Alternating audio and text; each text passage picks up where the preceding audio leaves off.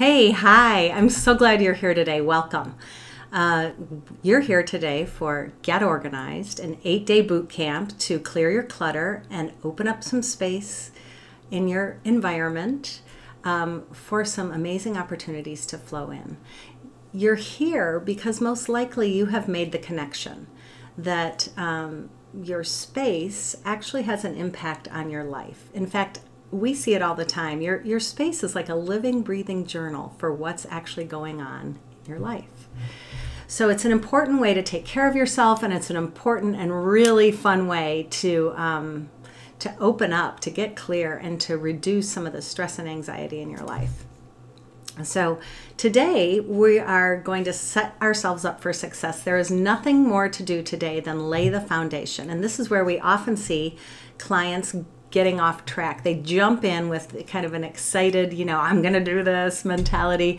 But um, if you haven't laid this foundation, if you haven't set yourself up for success, chances are you you may take a stab at it. You may get a, you know get pretty far, but you're never really going to get to the level of of how we're going to work on this project piece by piece over this week. So here we go. I'm going to have you take a deep breath and just kind of float through your space in your imagination. Notice where the hot spots are. Is it the closets? Is it the office? Is it the basement, the pantry, the attic? Kind of float to wherever that is. And then notice how does it make you feel? Is it um, is it giving you any kind of emotional feeling? Is it stressing you out? Do you feel anxious? Do you feel tired all of a sudden or sad? Or are there physical feelings? Are you, are you getting a headache? Are you getting a, that kicked in the stomach feeling, a stomach ache? Um, very often I hear any or all of these um, from, from clients when they describe how they feel when they're um, thinking about or in the midst of their clutter. So just note that on your on your worksheet. Take another deep breath, come back, and let's let's um, set ourselves up for a really successful week. So that's the first thing, really, building that foundation, getting very very clear about how it's affecting you. So check, we've done that.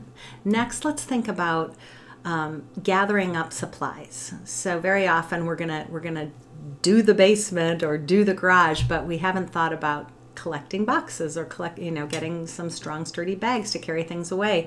And so we get stopped and then you know perhaps we go to the store or go you know somewhere to pick these things up and then get distracted and you know how that goes. So um, let's set ourselves up get bags get boxes and let's pick the space. Let's start where start smart by choosing a doable space. And that's going to depend on how much time you have to offer. So think about that too. For the next week, are you going to have 15 minutes a day? Are you going to have 20 minutes a day? How about an hour? Some of you go getters might have four hours a day. What can you devote to a successful outcome for this project? And then let's think about where will you start?